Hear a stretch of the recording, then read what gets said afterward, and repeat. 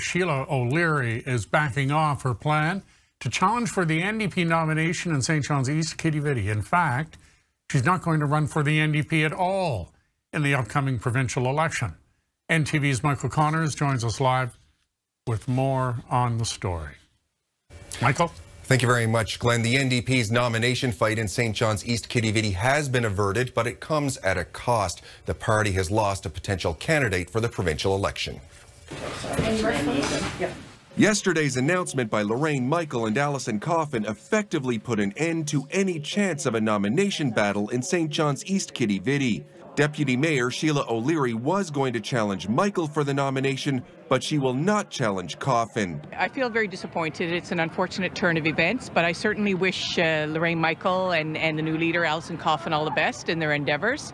Um, so for me, at this stage of the game, I'm just going to retract my, uh, my bid for the nomination. But O'Leary is still not happy about how this played out.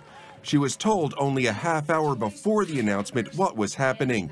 So she will not be running for the NDP in any district in the provincial election. As much as I love the entire scope of the city and I continue to represent it as deputy mayor, uh, that was the seat that I've been focused on for a long time and actually had several discussions with um, uh, MHA Lorraine Michael about it over the years in regards to potential succession. NDP President Lynn Moore says she did give O'Leary a hint about a month ago that this was a possibility. I did have a conversation with her the day that Gerry Rogers stepped down, the day before Gerry Rogers stepped down, and I indicated to her, I asked her the question, um, is it your intention to seek the nomination in St. John's East Quidi-Vidi, uh, even if the leader decides that that's what she wants to do?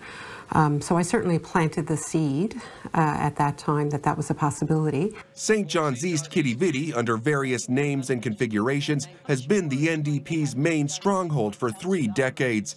So the party decided that district gave Coffin the best chance of getting into the House of Assembly and encouraged O'Leary to run in a number of other districts. We would have loved to have her run in uh, Mount Scio or St. John Centre or Virginia Waters Pleasantville. For a party trying to get past the schism of 2013, it's another public display of division. There is some discontent, but I, I wouldn't say that that is a broad base of discontent.